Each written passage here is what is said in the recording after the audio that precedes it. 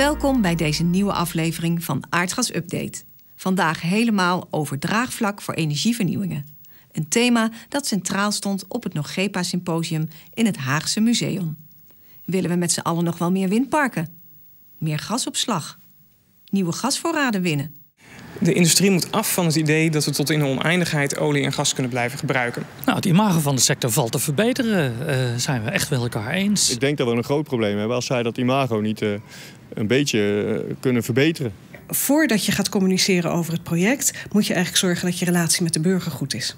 We kunnen niet, uh, in, in, feite niet kiezen. Dus dat moeten we eerst duidelijk maken aan de, aan de bevolking. Mensen hebben over het algemeen weinig vertrouwen uh, in de overheden en ook uh, minder vertrouwen in bedrijven.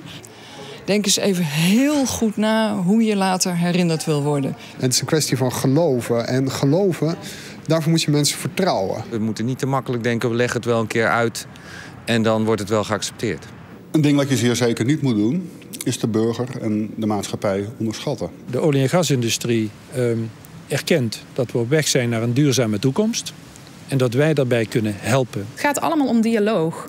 Hè? Dus je moet op zoek gaan naar. Je moet praten met mensen. De energiemarkt in ons land is volop in beweging. Maar niet alles gaat geruisloos. De tijd dat we graag ruim baan maakten voor de winning van aardgas lijkt voorbij. Maar er is ook weerstand tegen meer windparken. Kolencentrales, CO2-opslag, ondergrondse gasopslag en boren naar schaliegas. Weerstand. En de verklaring? Een verklaring die veel uh, uh, gebruikt wordt, is uh, dat mensen steeds meer toegang hebben tot informatie en kennis via internet. En zich bijvoorbeeld ook makkelijker organiseren via social media.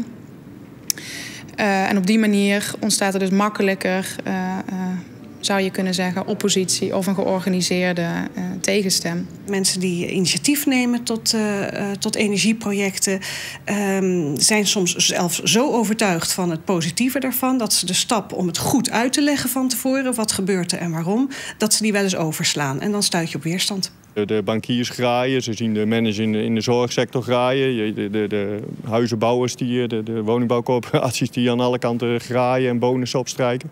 En dat helpt natuurlijk niet mee. En als dan de, de gasindustrie ook nog eens, uh, gas- en olieindustrie ook nog eens komt met uh, we gaan onder uw woning gas opslaan of, of we gaan boren naar schaliegas waardoor de hele landschap vernietigt. Ja, in wiens belang werken die, die grote jongens dan nog? En ja, mensen worden daar onrustig van. Dat kan me heel goed voorstellen. Draagvlak hangt heel erg af van de mate waarin een activiteit voor- of nadelen heeft. En naarmate men meer vindt dat er nadelen aan verbonden zijn, dan neemt het draagvlak af men denkt eigenlijk altijd van... ja, het kan vast ook nog wel ergens anders. Of het kan vast ook nog wel schoner. Of zonder al die installaties.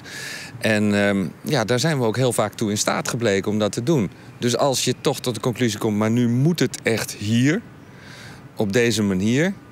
ja, dan zijn mensen daar niet snel van te overtuigen.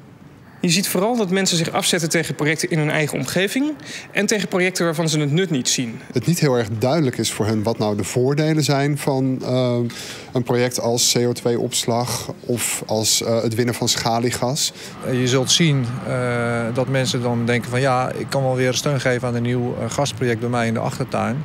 Maar ik wil eigenlijk wel eerst eens wat meer voortgang zien op het gebied van energiebesparing en duurzame energie. Dat speelt althans voor een deel van onze achterban en van, van de bevolking een, een belangrijke rol. Uit heel veel onderzoek is gebleken uh, dat uh, uh, waarom mensen tegen zijn, vaak niet eens zozeer te maken heeft met het feit dat dat windmolenpark er bijvoorbeeld komt. Maar het feit dat zij niet tijdig geïnformeerd zijn of niet betrokken zijn. Of dat zij geen stem hebben in de manier waarop dit project ten uitvoering wordt gebracht. En als er iets is waar de overheid de laatste jaren slecht in is geweest, dan is het uitleggen waarom een bepaald project nou zo broodnodig is. Dus het probleem in Nederland is dat onze overheid zigzagt, wisselende signalen afgeeft. En dan gaan ook burgers die eigenlijk schone energie willen op enig moment met de hak in het zand. Ja, weerstand tegen grootschalige energieprojecten in Nederland. Ja, kan je natuurlijk heel somber over zijn. Uh, je kan ook zeggen, het, het wordt tijd dat we daar nou eens gezamenlijk industrie en overheid wat aan doen. Een grondige analyse van de oorzaak van draagvlakvermindering lijkt dus hard nodig. Vraag is ook, wat moet je wel doen? En wat moet je zeker niet doen?